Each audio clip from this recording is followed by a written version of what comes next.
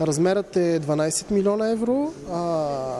Публикували сме наредбата, начина по който ще бъдат разпределени средствата, така че да обхванем по възможно най-справедлив начин загубите и да компенсираме нашите стопани както за пропуснатите ползи, така и най-вече за изключително голямото намаление на цената на млякото и на, на млечните продукти.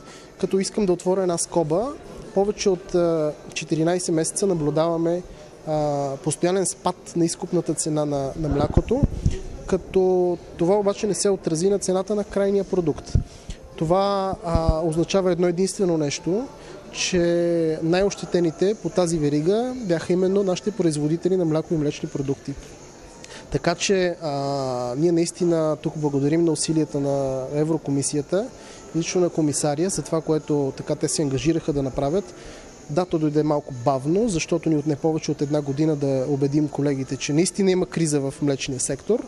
За радост това се случи и тези 12 милиона ще бъдат разпределени до края на годината по един справедлив начин, тъй че да компенсират някаква част от загубите на нашите производители.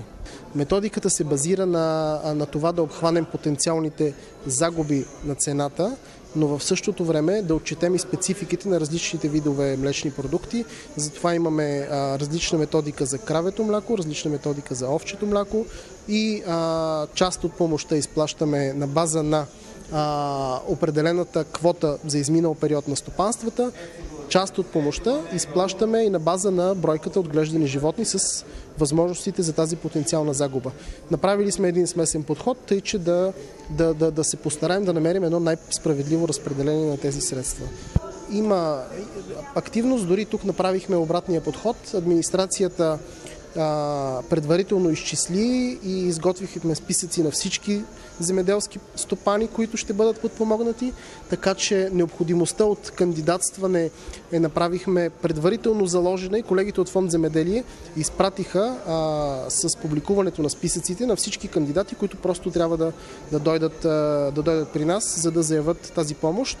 Улеснихме ги от гледна точка на това, че не трябва да се подават заявления и да се чака одобрението им, обработката им.